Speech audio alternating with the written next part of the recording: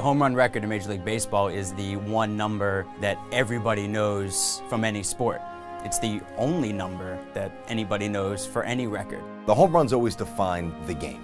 I think to put the home run record in perspective, I think you have to understand really what the home run means. That's always been the benchmark for the titans of the game. For any baseball fan, you know, big numbers are, are eye-catching, and there's nothing bigger than a home run. There was magnitude with Babe Ruth and that number 60 and Roger Maris with 61. Roger Maris' single season home run record was one of those untouchable records that you thought would never see broken.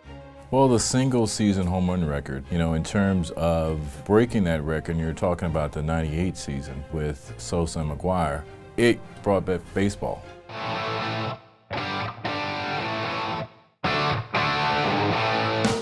Very different paths that Mark McGwire and Sammy Sosa took because really from minute one, McGwire was a home run hitter.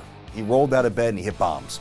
He had obviously the Southern California tall, kind of Paul Bunyan-like character, physically strong in Mark McGwire. And then you had Sammy Sosa, who came from the Dominican Republic, had this bundle of energy, was really a personable guy. The 94 season when Commissioner called off the World Series and then the subsequent strike of the players the following year really turned off a lot of core baseball fans. A lot of fans said, I'm not going to go to a baseball game anymore. Attendance in 95 was brutal. Fans who came to the games were putting bags over their faces. They were screaming and yelling and throwing stacks of money at players. I think for a while people just kind of became disenchanted. You know, baseball's all about money. It's not about love of the game. I always say that the Sosa McGwire deal saved baseball. It brought a lot of fans who weren't interested in baseball anymore back to the game.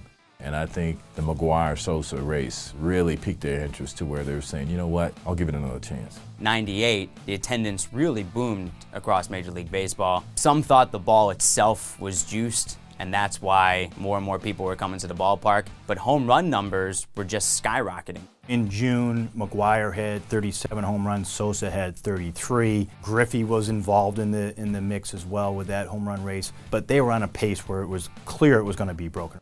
When Sosa and McGwire went on this tear, they were great for the game because they were fun. They really were like cartoon figures, like supermen with these bulging biceps, and they just sucked us in everybody was talking about it. The home run chase was leading the nightly news. There were all these cameras and hangers on that were just on every swing. People wanted to see how far these baseballs would go. If you weren't playing against these guys, after your game, you would go in and watch TV to see what they do tonight. And you sit there and you're like, wow, these guys may do it. Somebody's going to do it this year.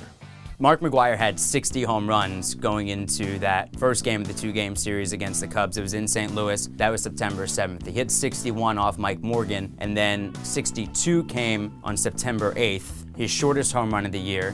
Fourth inning, first pitch off Steve Trachsel, that laser to left field, so un-Mark McGwire-like.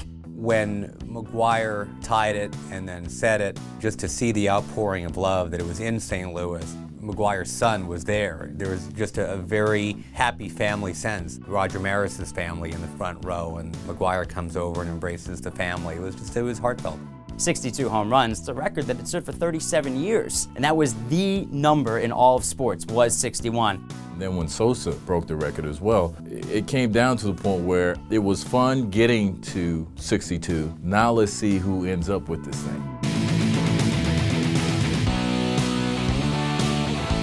Nobody really remembers that they were tied at 66 later in September. When the thought was McGwire broke the record and just went on to hit 70, don't forget Sammy ended up with 66. 70 was just so nice and even. And there's, a, there's an interstate that runs right through St. Louis at 70. I mean, it's perfect while the home run race of 98 saved the game, brought people back, it, it, ruined baseball. You don't trust anything you see. I think as we find out more information about that season, the parties that were involved were taking performance enhancing drugs, I do think it takes away from them. I think the, the initial reaction a lot of people had, and certainly people in the media like me, is that we were duped.